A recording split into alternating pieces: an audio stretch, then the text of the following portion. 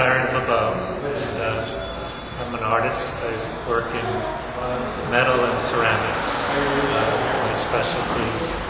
And uh, I do a variety of things from sculpture to lighting and furniture. Uh, I like, like to work with found objects. And uh, this piece uh, is one of my latest pieces um, and I call it a basket, but uh, with ceramic eggs and stones, it kind of looks like a dinosaur nest. Um,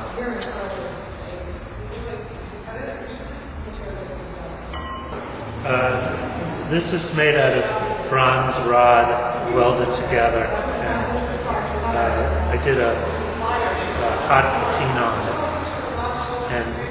Hot patinas, you put an acid on and you heat the piece with a torch, and it brings out really the colors of the metal.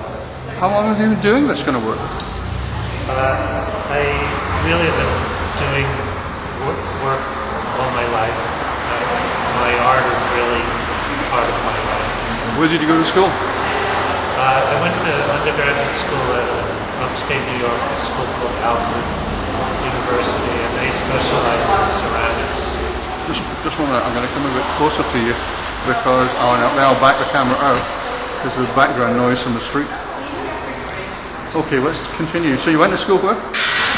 uh, Alfred University, and uh, they specialize in ceramics. And I really started my career in ceramics, uh, but as as I've been doing this and, and doing pieces for public spaces, I've been working more in metal because metal is much more durable uh, for public spaces, and uh, I've been self-taught as far as how to work in metal, but it, it's all really a, a process that's been going on. Do you ever do castings? Uh, well, the ceramic pieces are all are mainly cast. Uh, I fabricate most of my metal. Um, I don't have the facilities to do uh, casting in metal. Yes. What, what I've been working with with my sculpture is uh, to capture movement and uh, time and space. And I, I was very impressed with that sphere made from the quarter inch bolts. Yeah. And that is a neat piece of work. And, and what's nice about uh, that is that it's scrap material uh, brought into a new a new space and, and a So new no, no cost. Now, I was talking to a, a well-known artist who does cat bronzes, um, Cynthia, uh, in Redondo Beach, and the cost of making the six or seven uh, subcastings to make the gel yeah. and the mold, and then you pour the, the bronze. Man, the cost is just through the ceiling when you start that again.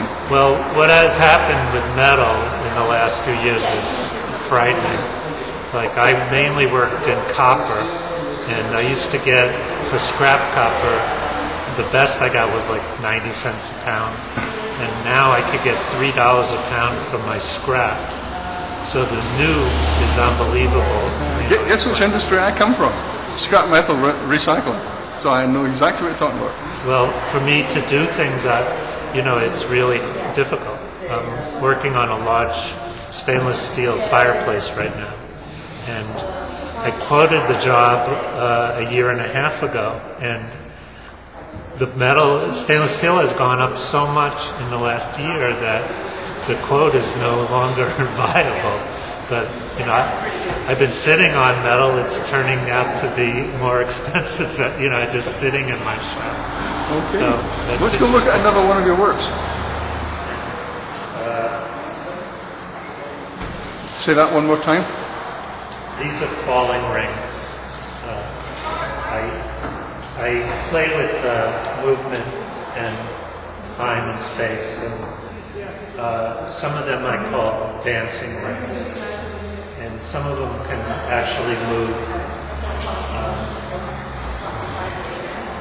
Very cute. Now let's look at another one now. Did you, did you do both of these? Yeah. Okay. uh, So let's just talk about this one first. These are bronze, both pieces.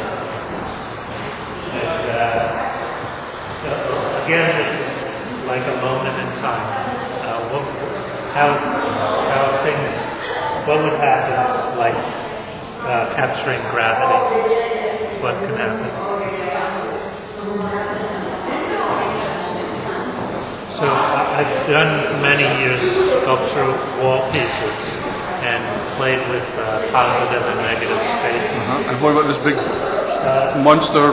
These are uh, planters, and I do a lot of planters, uh, and I like to mix materials. This is the bronze rim and stainless steel. Is that stainless steel? So these are this is all fabricated from flat stock. Just, just tell me that one more time. This is fabricated from flat stock. I, I cut all the pieces, and these are all welded seams. Okay. How long did it take you to do that kind of work? Well, uh, uh, I, I usually have a lot of different pieces of working at the same time. And when I'm doing planters, it's usually I'm doing a commission piece, and then uh, I'll make some other pieces as I go. Um, so th- there's hours of work in the piece, but uh, I don't really have a time set how long it takes. And, and uh, is a lot of the work you're doing for commission? Yeah. Um, th- this, uh, I had done uh, about five or six shapes like this for a place in a home in Las Vegas. So I made a few extras as I was going along. Okay. Do you have a website? Yeah. Uh, what is it? Um, well, I have my own website, artanddesignonline.com, um, which is a search engine for the art and design community. And uh, uh, on that website, I have my personal website, which is larrylubow.com. Okay, well, we'll tie in the credits at the end of the video to your website, and I wish you the very best. Great, I appreciate it. Thank you.